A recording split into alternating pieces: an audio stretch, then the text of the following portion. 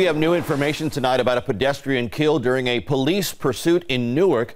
Police say 29 year old Priscilla Godoy was struck last night as she crossed the street, the result of a chain reaction crash. Throughout the day, Eyewitness News reporter Kimberly Richardson tweeted updates on this story. She has the story tonight from Newark.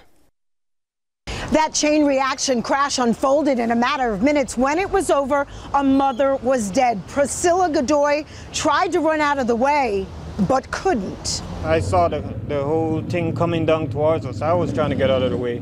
Get out of the way of there, that speeding white Jeep that was coming right at him and his family. Surveillance video shows police chasing the stolen SUV along 14th Street in Newark, where the suspect then caused a deadly chain reaction crash. He plowed into him and just rammed him right into the car over here.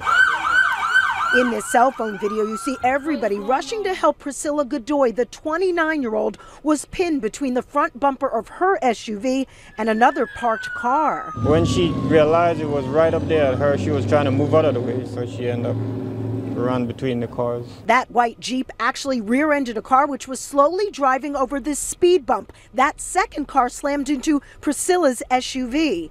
She died at the hospital. I was doing my best to help her uncle, and I was really hoping we, we was able to get her off out in time. In all of the confusion, just before 11, officials say the two suspects took off on foot. Authorities maintain the men had just carjacked a victim at gunpoint in East Orange. Newark police were looking for that SUV and spotted it here.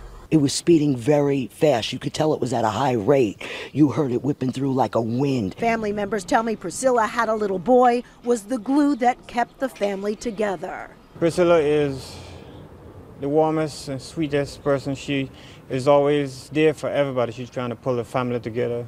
This family has been through so much. Priscilla's uncle tells me just three weeks ago she was riding in her SUV with her dad when yet another speeding car hit them.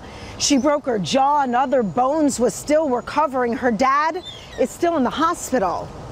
In Newark, Kimberly Richardson, Channel 7, Eyewitness News.